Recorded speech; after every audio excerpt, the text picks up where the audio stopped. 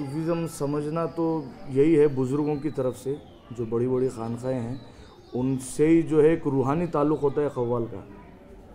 जैसा कि बुज़ुर्गों का ये फरमान है कि हमें भूख लगती है तो हम खाते हैं खाना। तो सूफीज़म में ये है कि कव्वाली रूह की गज़ा है। रूह को चाहिए कव्वाली तो वो रक्स करना शुरू करती है। ये सूफीज़म का रिलेट है कव्वाली से।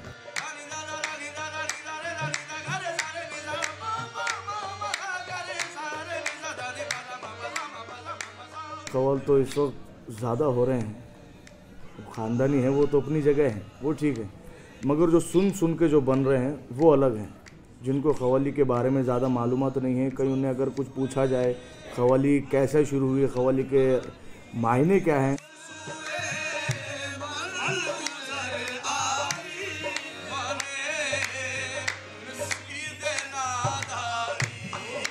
मैं वो कवाली सिखा रहा हूँ, वो जो सुन के आ रहे हैं। अब जैसे साबरी ब्रदर्स की है, भर दो जोली, जो मुस्लिम में बहुत मशहूर है तो खान साहब, हमें वो भर दो जोली कवाली बहुत मशहूर है। ख्वाजा मेरे ख्वाजा, एक वो फ़िल्म में जो है आई है, वो हमें वही मशहूर है तो वो हमें सिखाइए इस तरीके की जो खवाली होती है वो, और जो खानखाओं की खवाली होती है, वो हम सिखा नहीं सकते और कोई समझ भी नहीं सकेगा उसे।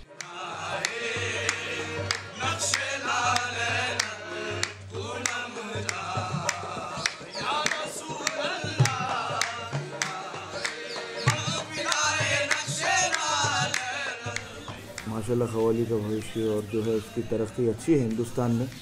और ख़ास तौर से दिल्ली में बहुत सी जगहों पे आजकल जो है सूफियाना कवाली और सूफियाना कवाली कॉन्सर्ट्स वगैरह बहुत अच्छे हो रहे हैं।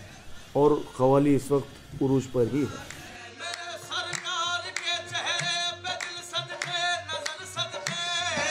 गुलबर्गा शरीफ में है हज़रत ख्वाजा बंदा नवाज़। वहाँ से मेरे वालिद भी मुरीद थे, वहाँ से भी जुड़ा हुआ